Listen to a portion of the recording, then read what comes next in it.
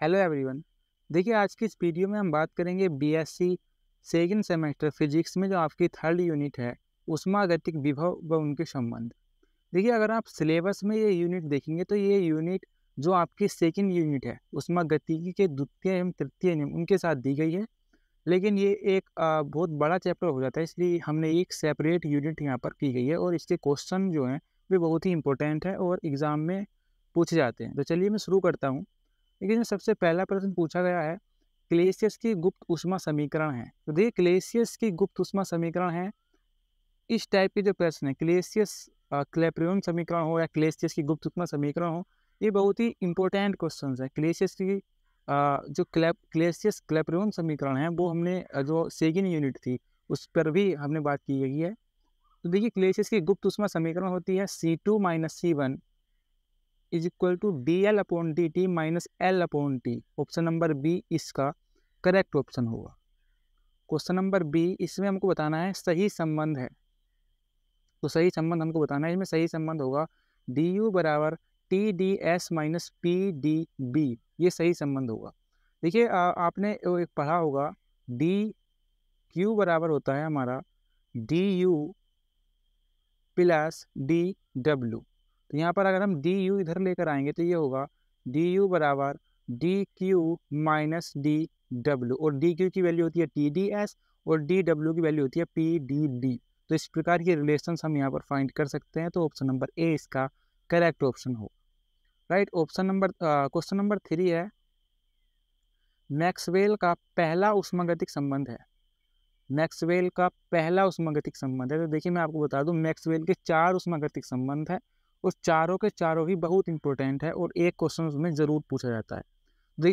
सबसे पहले उष्मागतिक संबंध की अगर हम बात करें तो वो हमारा होता है del T upon del V suffix में S is equal to minus del P upon del S suffix में बी तो ऑप्शन नंबर ए इसका करेक्ट ऑप्शन होगा। Option question number four Maxwell का दूसरा उष्मागतिक संबंध है। तो मैक्सवेल का दूसरा उष्मागतिक संबंध होगा option number B that is del S upon del V suffix में T is equal to del P upon del T suffix में बी तो ऑप्शन नंबर बी इसका करेक्ट ऑप्शन होगा। देखिए इसमें क्वेश्चन नंबर फाइव है। मैक्सवेल का तीसरा उष्मागतिक संबंध है। तो मैक्सवेल का तीसरा उष्मागतिक संबंध होता है del T upon del V suffix में S is equal to minus del B upon del X suffix में पी ऑप्शन नंबर सी इसका करेक्ट ऑप्शन होगा। क्वेश्चन नंबर सिक्स हमको दिया गया है रुद्रोष्म। ई एस तो, समतापी प्रत्यास्था ई टी का अनुपात है। तो रुद्रोष्म प्रत्यास्था और समतापी प्रत्यास्था का अनुपात होता है C P upon C B option number C इसका करेक्ट ऑप्शन होगा। ये बहुत इंपॉर्टेंट क्वेश्चन है। क्वेश्चन नंबर सात है आदर्श गैस के लिए C P minus C V का मान है। तो आदर्श गैस के लिए C P minus C V का मान होता है T E proportional square B option number B इसका करेक्ट ऑप्शन होगा, ये ऑप्शन नंबर बी यहाँ पर हमारा है, ये सी नहीं ऑप्शन नंबर बी इसका करेक्ट ऑप्शन होगा। क्वेश्चन नंबर आठ हमको दिया गया है गिव्स फलन है। तो देखिए गिव्स फलन का यूज़ हम करते हैं उसमें गतिक संबंध को डेराइव करने के लिए। तो इस चैप्टर में गिव्स फलन भी इम्पोर्टेंट है, इस गिव्स फलन होता है जी बराबर U plus P B minus T S option number C इसका करेक्ट ऑप्शन होगा। क्वेश्चन नंबर नाइन हमको दिया गया है हैम होल्ट्स मुक्त ऊर्जा फलन है। तो हेम होल्स मुक्त ऊर्जा फलन होता है। इसका ऑप्शन नंबर डी करेक्ट होगा एफ़ बराबर यू माइनस टी एस ये हेम होल्स मुक्त ऊर्जा फलन है। ऑप्शन नंबर डी इसका करेक्ट ऑप्शन होगा। क्वेश्चन नंबर टेन है। एक गैस का व्युत्क्रमण ताप टेम्परेचर ऑफ़ इन्वर्जन है। टेम्परेचर ऑफ़ इन्वर्जन होता है two A upon R B option number B इसका करेक्ट ऑप्शन होगा। क्वेश्चन नंबर इलेवन हमको दिया गया है। चार उष्मागतिक विभव हैं। तो चार उष्मागतिक फल विभव होते हैं। आंतरिक ऊर्जा हेमहोल्ड्स ऊर्जा एंथैल्पी तथा गिव्स फलन।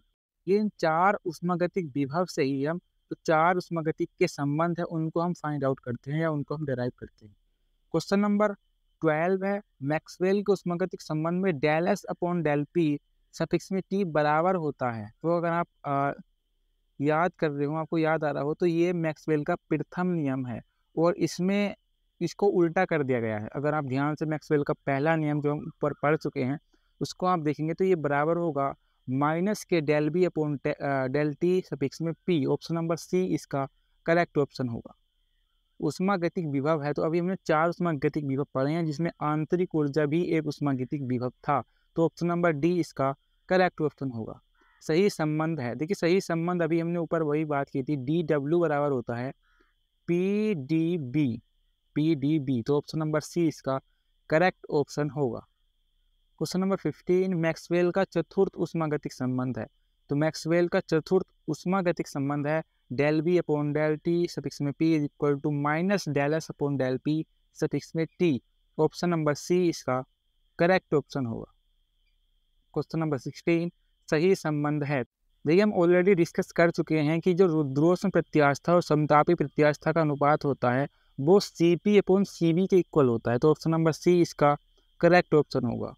क्वेश्चन नंबर सेवनटीन रुद्रोष्म परिवर्तन में कौन सी राशि नियत रहती है? तो ये हम आ, पिछले चैप्टर में भी हमने डिस्कस किया था तो इसमें ऑप्शन नंबर डी एंट्रोपी इसका सही ऑप्शन सही ऑप्शन होगा।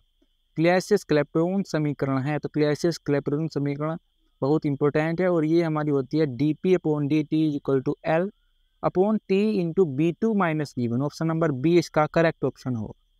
देखिए इसमें क्वेश्चन नंबर नाइनटीन सही संबंध है तो डी क्यू बराबर होता है T D S T D S option number C इसका सही उत्तर होगा। इसमें लास्ट हमसे क्वेश्चन पूछा गया उष्मागतिक विभव है तो चार उष्मागतिक विभव थे इसमें आंतरिक ऊर्जा और एनपेल्फी भी थी। ऑप्शन नंबर सी इसका करेक्ट ऑप्शन होगा। तो इस प्रकार हमने यहाँ पर तीन चैप्टर यहाँ पर कवर किए हैं, जिन्होंने पहले और दूसरे चैप्टर की जो एम नहीं पढ़े हैं, वे डिस्क्रिप्शन में जाकर चेक कर सकते हैं। जो आने वाली वीडियो होगी, उसमें हम जो फोर्थ चैप्टर है, उसके मोस्ट एम के बारे में डिस्कस करेंगे। तब तक के लिए thank you for watching this video